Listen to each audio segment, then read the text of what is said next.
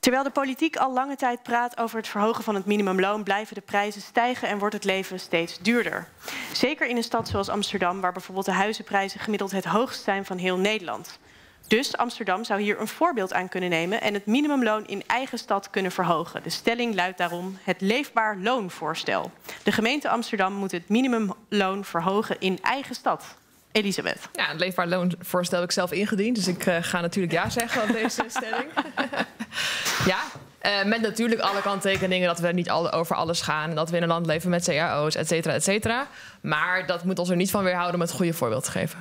En je bedoelt dan het, uh, dat dat loon binnen de gemeente Amsterdam nou, kijk, je kan moeilijk zeggen, wij worden de Republiek Amsterdam. Dat is natuurlijk ook een leuke wens. Maar dat is misschien voor, voor uh, de, korte termijn niet zo haalbaar. Maar wat we in dat voorstel hebben opgeschreven... is dat we zeggen, je kan natuurlijk allereerst ben je als gemeentewerkgever. Dus daar werken al 17.000 ambtenaren. begin daar. Nou, daar is recent een nieuwe uh, overeenkomst gekomen... tussen de Vereniging uh, Nederlandse Gemeenten en de vakbond ja, over dat dat nu omhoog gaat. Dat is in ieder geval een hele goede stap. Maar als gemeente hebben we ook invloed op heel veel andere plekken. Dus wij, um, wij geven subsidies, wij doen aanbestedingen met allerlei partijen. Dus ik vind best dat we daarin kunnen zeggen... nou, zorg dat we gaan alleen maar samenwerken met partijen... die ook dat minimumloon betalen. En hoe hoog is dat dan? Minimaal 14 euro. Oké. Okay. Diederik? Um, ja, ik hoor net dat GroenLinks zich inderdaad op de lange termijn wil afscheiden van uh, Amsterdam wil afscheiden van Nederland. Nou, dat, dat, dat, dat, voorstel zien we dan ook uh, graag tegemoet. maar wat betreft de hele stelling, kijk, ik vind dat het minimumloon omhoog moet, inderdaad. Daar, daar zijn wij voor, maar dat moet natuurlijk landelijk worden geregeld.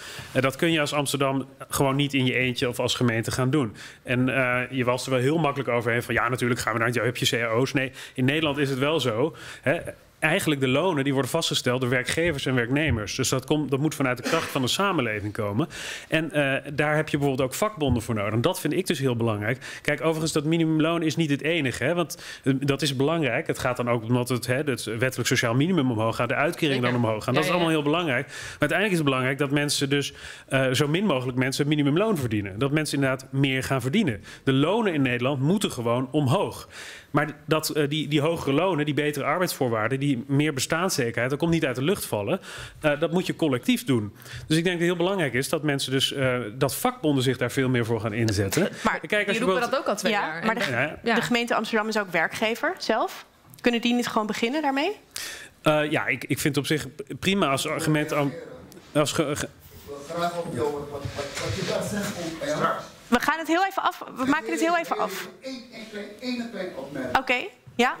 Want ik vertegenwoordig ook even de, de postbezorgers van de 14 euro. En FNV is al jaren mee bezig. Precies. Wat je dan zegt is gewoon.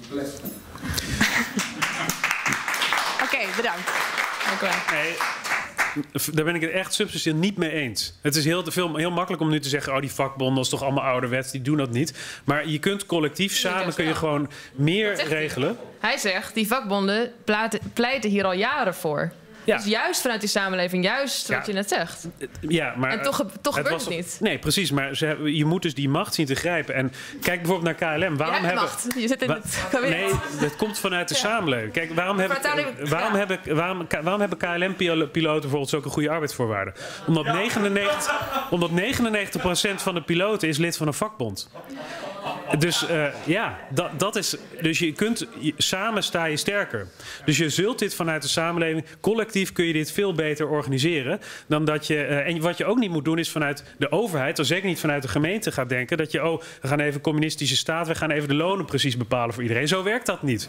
Dat is tussen uh, werkgevers en werknemers. Je moet dat collectief organiseren. En daar ligt een enorme uitdaging. Oké, okay, het moet bottom-up eigenlijk. Ja. Uh, ja en nee, maar dat gebeurt dus niet. Dus ik vind het een beetje makkelijk te zeggen... ja, het moet bottom-up, we moeten maar kijken... de samenleving moet het gaan doen. Uh, volgens mij is politiek ook een... en, de overheid heeft een grote rol in die samenleving... wat GroenLinks betreft. Uh, daar denkt CDA natuurlijk iets anders over. Um, en is die roep vanuit de samenleving... die is er al heel lang. Uh, maar het, het, gebeurt niet. En ik ben ook heel erg voor dat het allemaal landelijk moet. Minimumloon omhoog, bestaansminimum, sociaal minimum zeker. liever vandaag dan morgen. Um, maar het gebeurt niet. En GroenLinks denkt, zegt dan in Amsterdam... laten wij het goede voorbeeld geven. Hè? Ons, de titel van ons verkiezingsprogramma is... Verandering begint in de stad. Wij laten zien hoe het ook kan. Andere gemeentes volgen ons op allerlei verschillende onderwerpen. Uh, met hopelijk dat we vanuit de samenleving, vanuit de steden dan maar... Uh, zeggen, kom op Den Haag, jullie moeten ook iets gaan doen. En als hier het minimumloon omhoog gaat... gaan dan ook de prijzen van alle andere dingen omhoog? Alle nee, lasten? Nee. Oké, okay, fijn. Maar Heel goed. Nou, eh, het, het, kijk, natuurlijk moet dit landelijk gebeuren. Dus als het gaat om het minimumloon, ja, dat moet de overheid doen. Dat is ook ongelooflijk belangrijk en daar zijn wij voor. Dat moet inderdaad omhoog. Nou, want nou- mensen in Nederland moeten meer gaan verdienen. Alleen dit is een volstrekt een fictie om te denken dat je het vanuit Amsterdam even zo kunt regelen. Okay, dus Amsterdam dus kan zeker wel uh, als voor de gemeente het goede voorbeeld geven. Daar ben ik ook zeer voor. Dus uh, die flexibiliteit op de arbeidsmarkt die is helemaal doorgeslagen. Die kun je ook, daar kun je zeker het goede voorbeeld geven. Meer mensen in dienst nemen, et cetera. Alleen uiteindelijk is het, ja, is het inderdaad via cao's, is het tussen werkgevers en werknemers. En daar, uh, en daar moet dus ook uh, die ontwikkeling plaatsvinden. Dan vind ik het wel positief dat ze nu zegt... oké, okay, vanuit Amsterdam kunnen we het goede voorbeeld geven. Dus als wij het initiatiefvoorstel voor Leefbaar Loon binnenkort bespreken... dan hoop ik op de steun van het CDA. Uh, maar daarnaast is er volgende week in de Kamer... De, gewoon de begrotingsbehandeling sociale zaken. En daar ligt nu een voorstel voor van GroenLinks samen met de PvdA... die zegt verhoog dat minimumuurloon. Gaat de CDA dat dan ook steunen?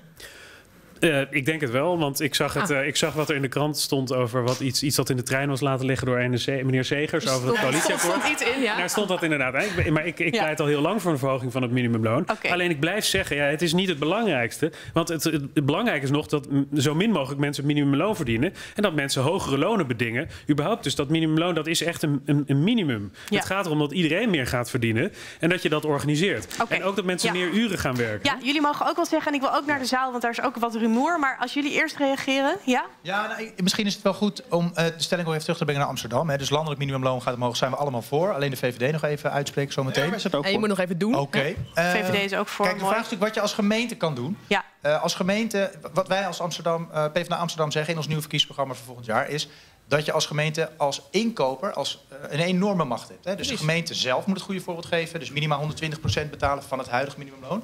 Maar je kunt ook als gemeente zeggen... wij werken alleen maar samen of we geven voorrang aan partijen die dat ook doen. En dan heb je wel degelijk een enorme machtspositie als stad. En dan ik ga hier niet het verkiezingsprogramma de titel van GroenLinks herhalen. Maar daar begint wel verandering. Ja, dat, dat, dat, is natuurlijk wel iets wat je als stad kunt doen. En nog een vraag. Weten jullie uh, hoeveel flexwerkers de gemeente Amsterdam in dienst heeft?